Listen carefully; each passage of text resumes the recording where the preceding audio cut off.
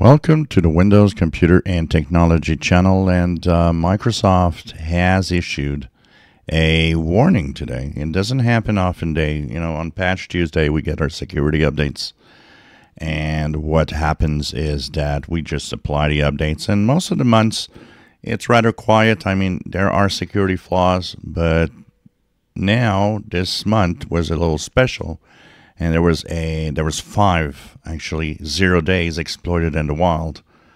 And so these are always very important to fix because bad guys already know how to use them. Um, in a unusual move though uh, microsoft has warned today that applying your updates on windows 10 and windows 11 is extremely important particularly this month because there is a couple of flaws that are so easy to exploit and that are so widespread on the internet that you have to apply these updates to make sure you stay safe.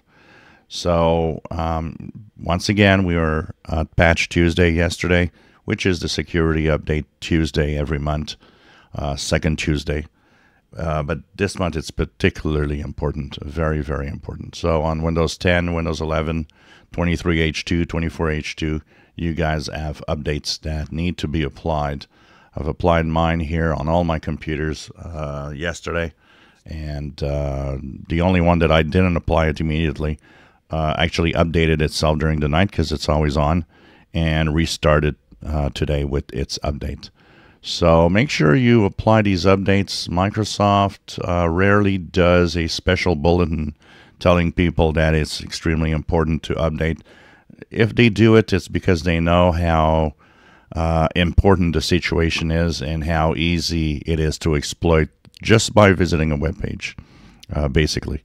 So, uh, or you know, having a link in an email that will bring you to the perfect website that has the exact exploit that that flaw uh, needs, and uh, and you're bitten. You you've got something getting in your uh, your malware getting in your PC, and and remember that you know the antivirus is pretty much useless in most of zero day attacks.